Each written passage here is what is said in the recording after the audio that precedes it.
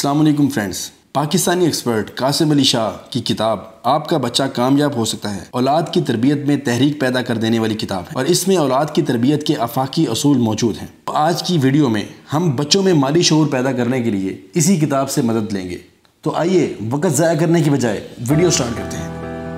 دوستو، بہت زیادہ لوگ جو کچھ کماتے ہیں، وہ اپنی ضروریات کے لیے خرچ نہیں کرتے، بلکہ دوسروں پر روپ ڈالنے کے لیے خرچ کرتے ہیں۔ یہ بات ول روجرس نے کہی تھی۔ آپ نے کتاب ریچ ڈیڈ پور ڈیڈ پڑھی ہوگی۔ رابرٹ کی اوساکی اس کتاب کے مصنف ہیں۔ امیر باپ، غریب باپ کے عنوان سے اس کتاب کا اردو ترجمہ آپ کو اردو بازار سے مل جائے گا۔ یہ کتاب تقریباً بیس سال سے پیسے کے موضوع پر بہترین کتابوں میں شمار کی جاتی ہے۔ اس کتاب میں مصنف نے اپنے بچپن کے ذاتی تجربات بیان کرتے ہوئے یہ بات لکھی ہے کہ ہمارے والدین ہماری تعلیم پر تو بہت زیادہ توجہ کرتے ہیں اور اس کے لیے خوب پریشان بھی ہوتے ہیں، لیکن بچے کی مالی تربیت اور اضافہ شعور کے لیے کچھ نہیں کرتے۔ شخص نے ایک بات کہی تھی کہ پیسہ کمانا جتنا مشکل کام ہے، پیسہ خرچ کرنا اس سے کہیں زیادہ مشکل کام ہے۔ لیکن والدین کی اکثریت اس حقیقت کو نہیں سمجھتی۔ اور اس غلط فہمی میں مبتلا رہتی ہے کہ پیسہ کمانا ہی مشکل کام ہے۔ پھر اس کا نتیجہ یہ نکلتا ہے کہ ہم پیسہ کمانے کے لیے دن رات محنت کرتے ہیں۔ خون پسینہ ایک کر دیتے ہیں، بلکہ پیسہ کمانے کے لیے گھر بار تک چھوڑ دیتے ہیں۔ لیکن وہی پیسہ جو اتنی محنت سے، اتنا طویل وقت خرچ کر کے کمایا ہے، اگلے چند روز میں ختم کر دیتے ہیں۔ آپ نے غور کیا ہوگا، بلکہ ہو سکتا ہے آپ کا اپنا تجربہ بھی ہو کہ بڑے عہدوں پر موجود لوگ لاکھوں روپے مہینہ کمانے والے پروفیشنلز بھی شکایت کرتے نظر آتے ہیں کہ ان کی روزمرہ ضروریات بھی پوری نہیں ہوتی اور ان کی تنخواہ ختم ہو جاتی ہے۔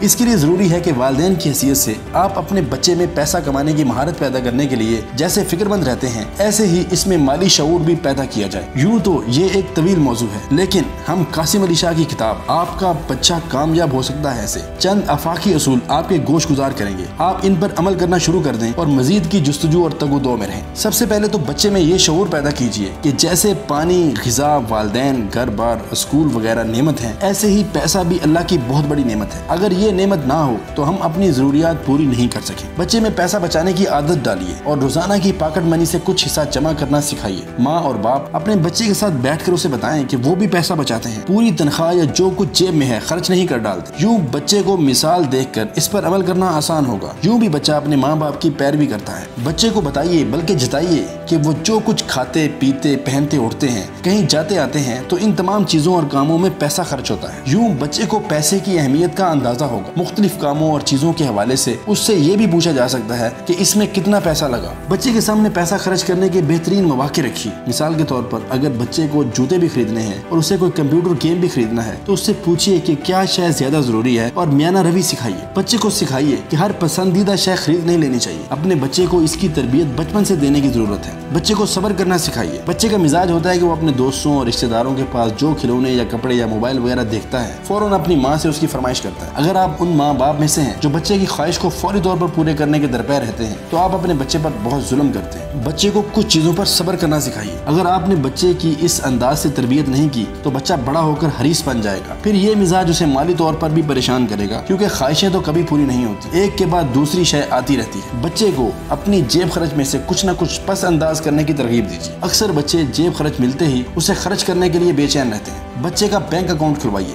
بعض پاکستانی بینک بچوں کے اکاؤنٹ کھولنے کی خدمت فراہم کرتے ہیں۔ بچے کو وہاں لے جا کر اس سے کاغذی کاروائی پوری کرائیے۔ یوں بچے میں بینکنگ کا شعور پیدا ہوگا اور اسے پتہ چلے گا کہ ہم اپنے پیسے کے معاملات کو بہتر طور پر حل کرنے کے لیے بینک کی خدمات و مصنوعات سے کیسے فائدہ اٹھا سکتے ہیں۔ بچے کو بجٹ بنانا سکھائیے۔ اسے ایک نوٹ بک دیجیے اور اس سے کہیے کہ وہ اپنے تمام اخراجات اس میں روزانہ درج کرے تاکہ اسے پتا ہو کہ اس کے پاس کتنے پیسے آ رہے ہیں۔ اور وہ کتنے خرچ کر رہا ہے۔ بچے کو کریڈٹ کارڈ کے خطرات سے آگاہ کرتے رہیے۔ پیسے کے ماہرین کے مطابق کریڈٹ کارڈ سے خرچ کی گئی رقم کا اندازہ آدمی کو نہیں ہوتا اور وہ ضرورت سے زیادہ پیسہ خرچ کر دیتا ہے۔ بچے کو کریڈٹ کارڈ کی جگہ نقد رقم سے خرچ کرنے کی عادت ڈالی تاکہ وہ کم خرچ کرے۔ بچے کو پیسہ کمانے کے طریقے سکھائیے۔ عموماً والدین یہ سمجھتے ہیں کہ ہم اپنے بچے کو اس وقت تک کمائی پر نہیں لگائیں گے جب تک وہ پڑھ لکھ کر فارغ نہیں ہو جاتا۔ ایسے بچے جب بیس پچیس برس کی عمر میں تعلیم سے فارغ ہوتے ہیں تو انہیں مالی شعور بالکل نہیں ہوتا۔ لیکن اگر بچہ بچپن ہی سے ایسے کام کرے گا تو کمانے کی عمر تک اسے خاصا شعور اور تجربہ ہو چکا ہو اور وہ ٹھوکرے کھانے سے بچ جائے گا۔ اور سب سے آخر میں مالی شعور پیدا کرنے والی کتب کا مطالعہ باقاعدگی سے کیجیے یہ کتابیں پڑھنے سے آپ کو پیسے کے ماہرین منی ایکسپرٹس کی رہنمائی کی روشنی میں اپنے پیسے کو درست انداز سے خرچ کرنے اور بہت سے مالی مسائل سے بچنے میں مدد ملے گی۔ آپ